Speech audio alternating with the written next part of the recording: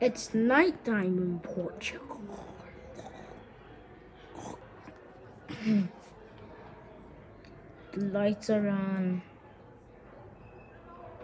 Sky is black. Blacked out. The, some houses.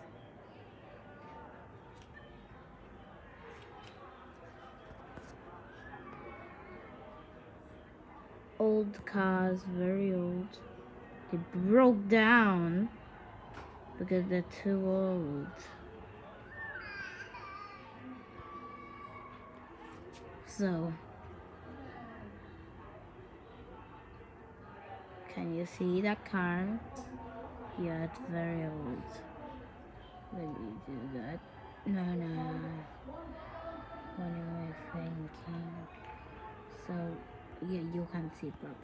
Well, there's lots of old cars in Portugal, and Portugal is a pretty dry place.